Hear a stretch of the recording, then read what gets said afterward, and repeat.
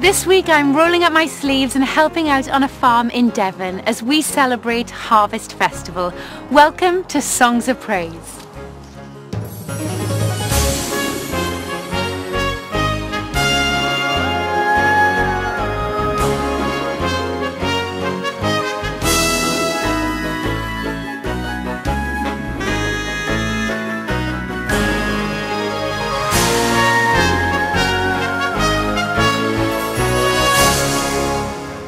In today's programme, I help out at an ice cream and dairy farm run by Christians. The Bible basically tells me how to be a farmer, so I've made God my farm manager, and, and that's taken all the pressure off me. JB Gill visits a church which meets on a farm. We really wanted a Christian community to be started that had a brilliant relationship to the land. And I find out how churches across the country are sharing food worldwide. We're packing food that's going out to Zimbabwe for children with malnutrition.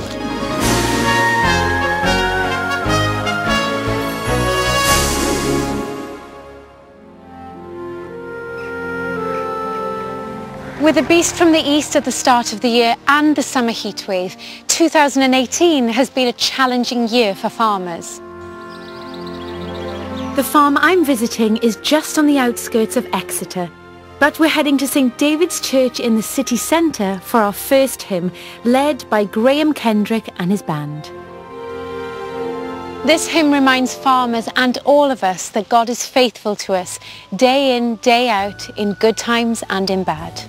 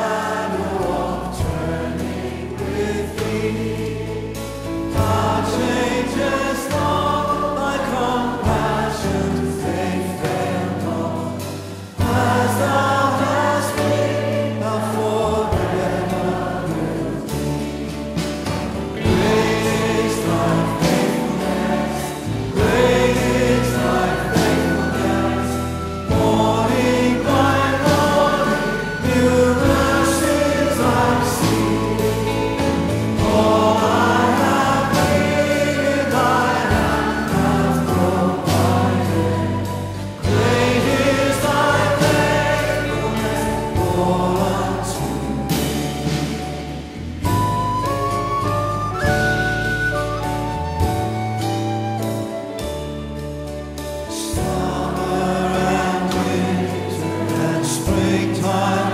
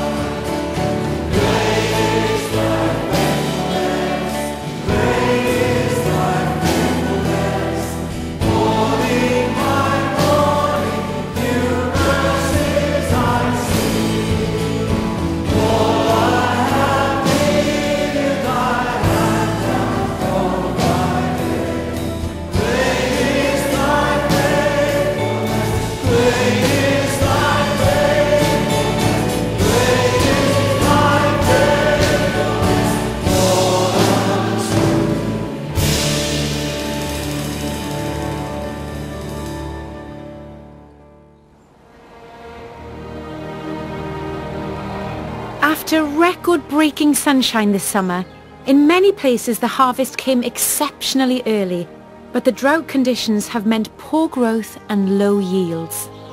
One Christian family here in Exeter actually embraced the warm weather and diversified with a product that not only keeps the farm running, but puts a smile on your face. Rob Taverner's family have been farming here for five generations I caught up with him as he tended to his herd. Rob, you've got a wonderful setup. What kind of farming do you do here? Well, we've got a herd of sort of grazing cows which stay out most of the year and they produce sort of delicious milk which can go into the ice cream. What is it like being a farmer today? It's really tough being a farmer, but it's a little bit like faith because you get challenges all the time. But the upsides are so good that that all makes it worthwhile. And it, you know, the Bible basically tells me how to be a farmer. So I've made God my farm manager and, and, that's taken all the pressure off me and I've become a better farmer with him as farm manager. So he will tell me when to buy cattle, when to turn out the cows, when to buy feed. So all the parables about the, the lost sheep and the sower and how to plough a field straight and not look back, all those things, if a farmer doesn't get faith, no one does.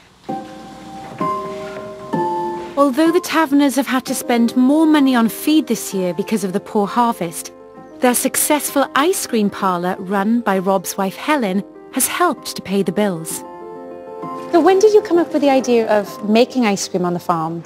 Well, we've been making it for about 10 years and it was not the hugest part of what we did. And then six years ago, we had a bit of a rethink. That's it. A bit more water on your scoop. oh, okay. There you go. See, and the then um, decided that we'd just focus on ice cream and make an ice cream parlour. Right. And, and it's just been the most extraordinary journey. It's fantastic. It's fun. It's creative.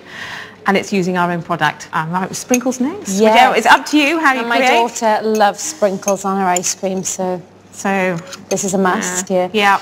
Faith and ice cream, not two things I would put together, but no. you know, can you tell me a little bit about yours? Well, I think for me, I always feel I've got someone looking over my shoulder, keeping an eye that I'm doing the right thing. Yeah. So for me, it's a joyful place. It makes people happy and we have fun. And ice cream is, you know, finishes it off really. Puts a smile on yeah. everybody's face. In fact, so, I feel like I need to, can I have a little yeah, taste? Yeah, go. I have to. Go. I can't resist it. Any That's good? really good. Oh, good, mm. good. Delicious, thank you. Oh, pleasure, pleasure. Very I, good. I might just have good. to steal this off now. Goodbye.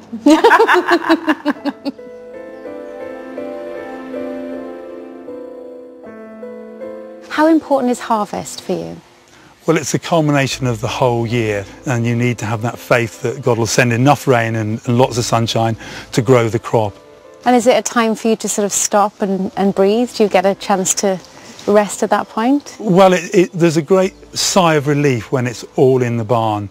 And it sort of links very much into the, the harvest theme because everything's in and then that food is ready for throughout the winter.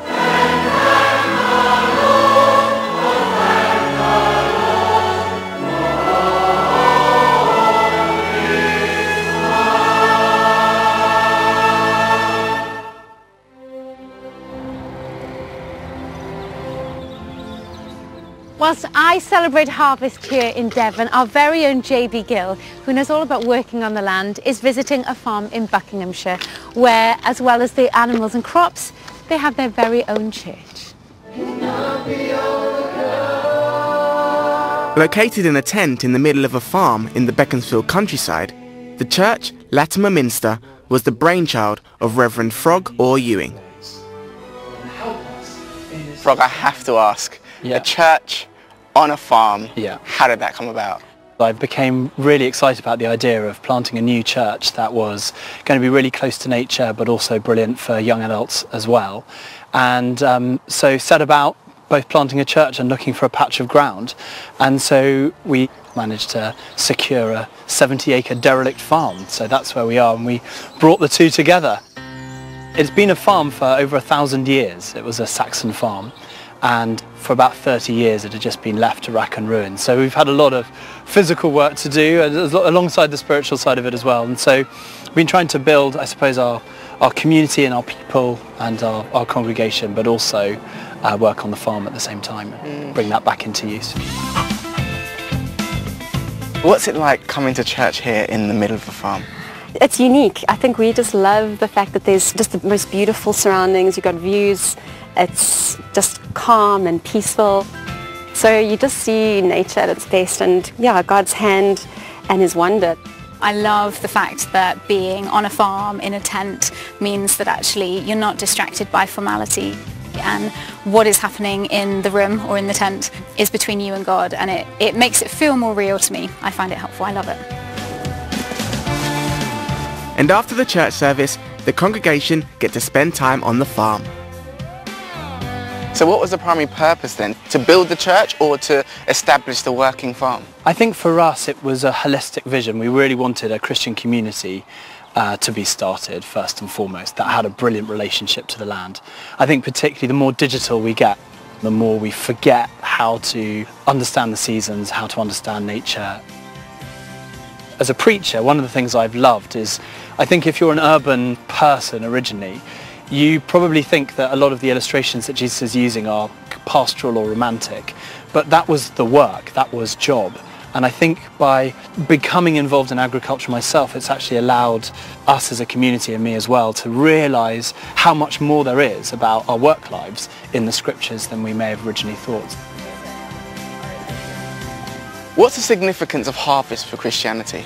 In the New Testament, Jesus uses it as a picture and as an image of all the people that are out there who God has a heart for and wants them to come to know him for himself. And so he says, go out into the harvest fields and bring the harvest home. And that's what he tells his disciples to do. And so for me, it's that great excitement when people come to know Jesus and it's that sense of, yes, that's what this harvest is about. It's a time for celebration.